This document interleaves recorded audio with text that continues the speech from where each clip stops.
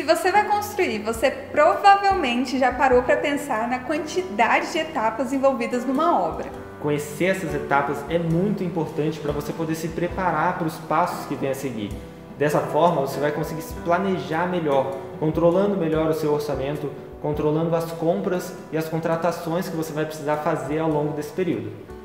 Percebendo nos nossos clientes essa necessidade de mapeamento das etapas, a gente criou o Guia de Obras, Compras e Contratações, que você pode adquirir lá no nosso site ou através do link aqui na descrição.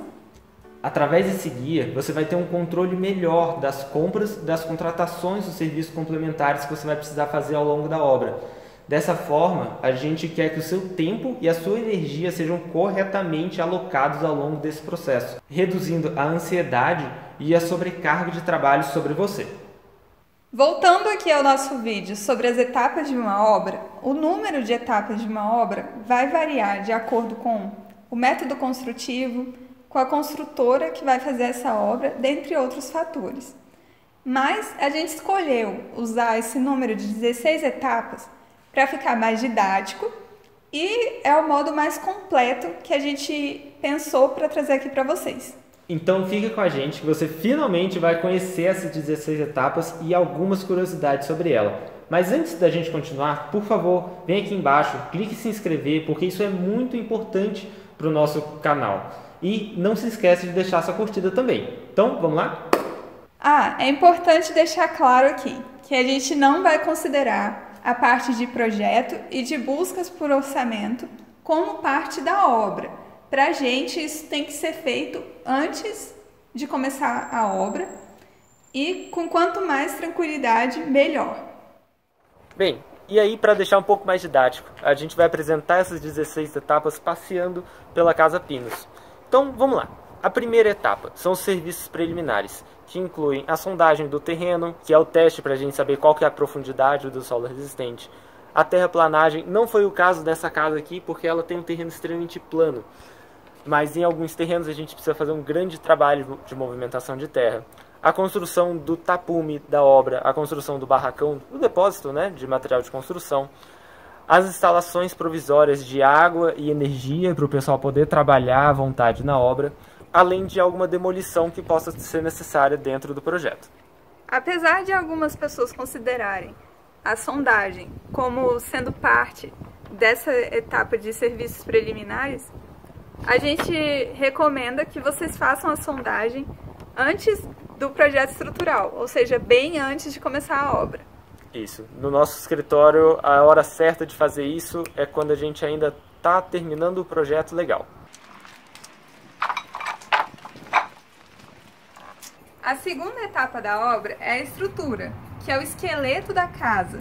É o que vai fazer a casa suportar todos os esforços e cargas. A estrutura é composta por fundações, lajes, pilares, vigas, escadas e pela impermeabilização dessa estrutura. Alguns construtores preferem fazer a parte da estrutura junto com a alvenaria para poder economizar um pouco em formas, né? Mas isso daí depende muito da técnica construtiva e de escolhas do próprio construtor.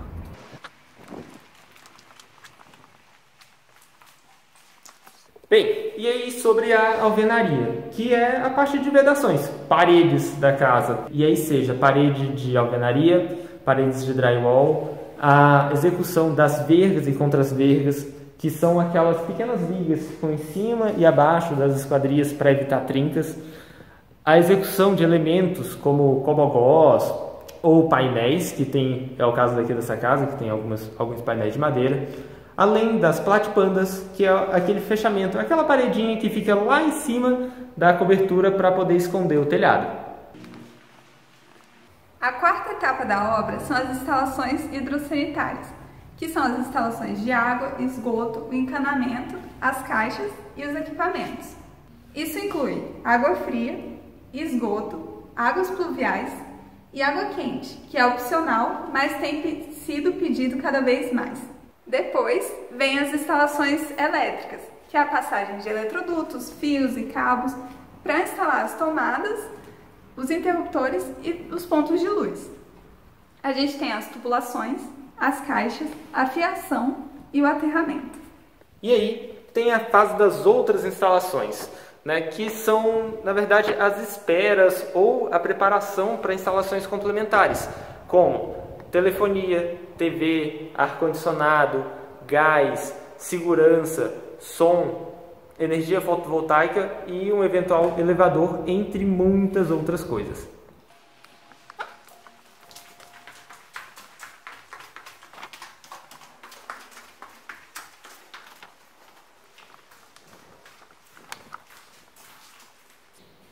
E aí, depois dessas instalações e pré-instalações feitas, a gente volta para a etapa de alvenaria. Porque, lembra, a gente vai estar com as paredes em pé, mas sem reboco. Então a gente volta para ela para poder fazer o reboco, algumas pessoas chamam de embolso, o contrapiso, a regularização dos vãos, que, por exemplo, essa porta aqui ainda não está instalada, mas isso daqui foi feito nessa etapa, para deixar perfeito para o portal vir encaixar aqui. Além disso, é nessa etapa que a gente faz os desníveis e os caimentos dentro dos boxes, e é nessa parte aí que dá trabalho também.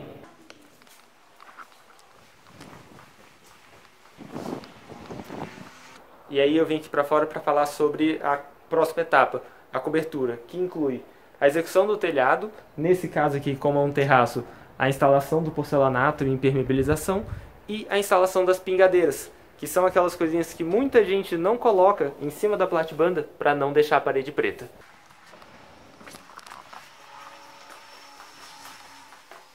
Depois vem a parte da marmoraria que são as peças fundamentais para a gente poder utilizar banheiro, área de serviço e cozinha. Nessa parte entram as estruturas das bancadas, as bancadas e os nichos, por exemplo. Depois vem os pisos e revestimentos, que vão proteger a vedação da sua casa contra sujeiras e intempéries e, é claro, vão trazer personalidade para os seus ambientes.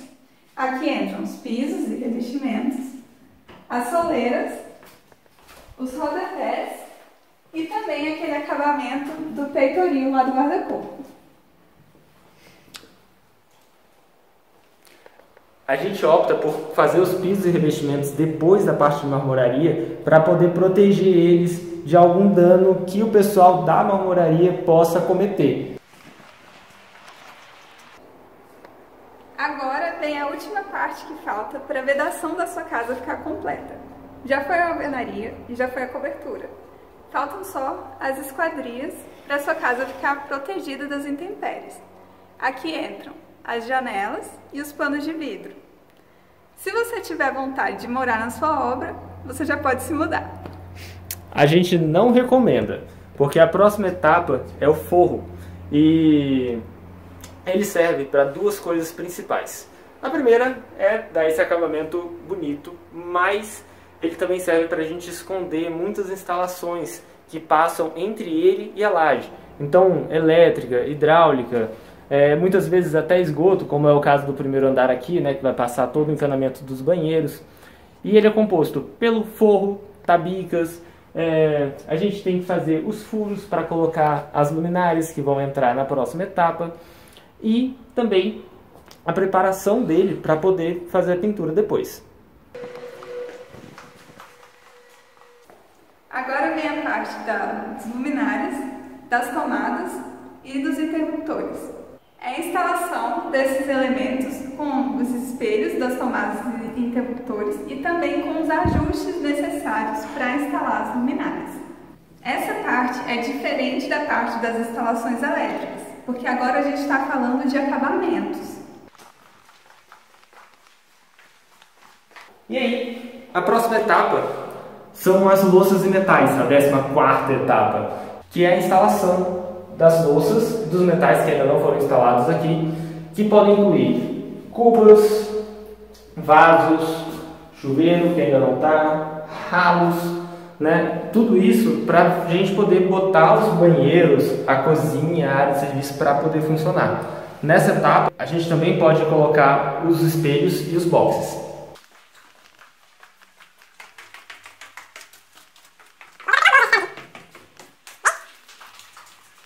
Agora da marcenaria, que é fundamental para a funcionalidade, organização e a ornamentação final da sua casa. Aqui entram os armários, prateleiras, painéis, eletros embutidos, mesas e etc. E aí, para finalizar, mas não menos importante, o paisagismo, né? que é o plantio, a construção dos canteiros, a construção dos caminhos de fora da sua casa e que também podem incluir construções de pergolados, é, de vez em quando a própria piscina é executada nessa etapa, certo?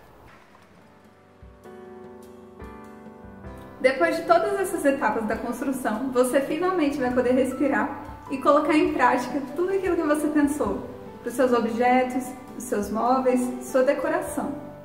Nessa parte você pode contar com os profissionais do escritório de arquitetura e também com decoradores e até mesmo um personal organizer.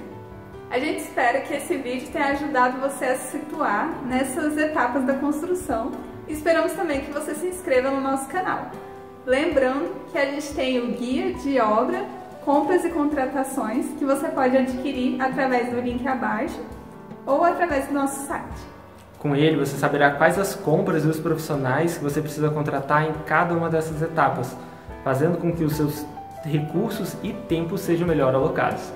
Tá bem, pessoal? Então, a gente espera muito que vocês tenham gostado disso. Compartilhe esse vídeo e deixe a sua curtida, isso é muito importante para o nosso canal, tá bem? Então, até a próxima!